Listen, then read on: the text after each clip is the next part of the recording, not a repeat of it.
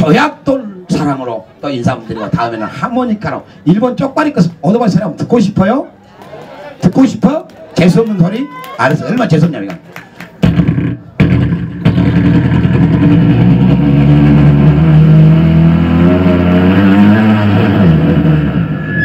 이거 이 쪽발이 10세끼로 들어가요 우리 대한민국 오토바이스는 정이 많고 사람들이 인정이 많다 보니까 오토바이스는 정이 많고 인정이 많아요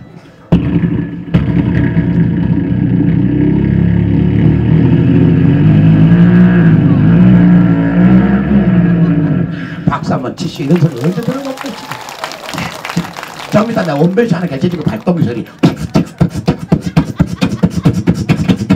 개체줄게. 음악 준비했으면 갑시다. 조약돌 사랑으로